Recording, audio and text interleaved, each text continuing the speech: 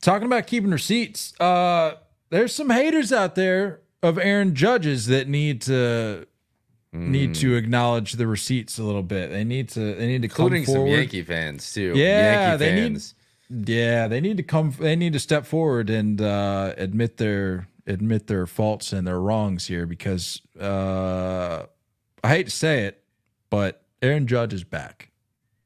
Yeah. Yep. Yep. Yep. Yep. Do you care Just- to expand? it was just a matter of time uh, and i uh, again like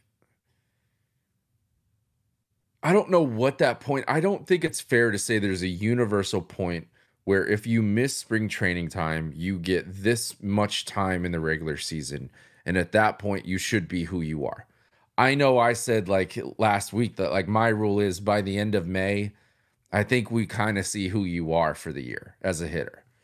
Um even as a starter like you're you're at that point like 10 11 starts in like i think we see who you are. So i don't think it's fair to say like hey he missed a chunk of spring training but he had all of april to figure it out and he still didn't figure it out. I, I don't know. I don't think there's a rule.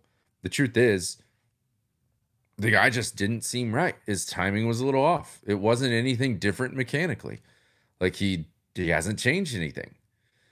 Uh, I think I saw something. They did a breakdown on MLB Network where, like, over the last three years, what his slugging percentage was with pitches in the middle of the, of the of the zone, and the slugging was like 1200 1300 like all of them were above a thousand which is insane for just slugging not ops it was just slugging of pitches down the middle this year it was like slugging was like in the 400s with pitches down the middle.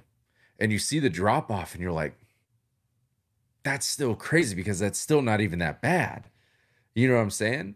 Um, and then all of a sudden you, you saw him flip a switch. There was all it takes when you catch him starting go the other way, when you see home runs the other way, it, it, he'll work his way up because early in the season was a lot of rollovers. It's this stat that we all know. He's leading the league in double plays.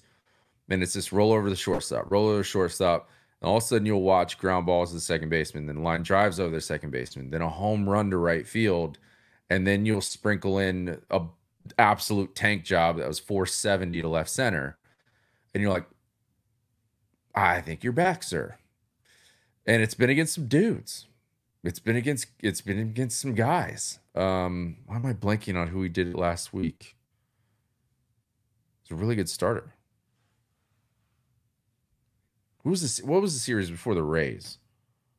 It was in Yankee Stadium. I don't remember. Tigers? It was Skubal. That's who it was. It was Skubal. Once he took Skubal Yard to right field, it was like, all right, then then then it's just been poured on since. Um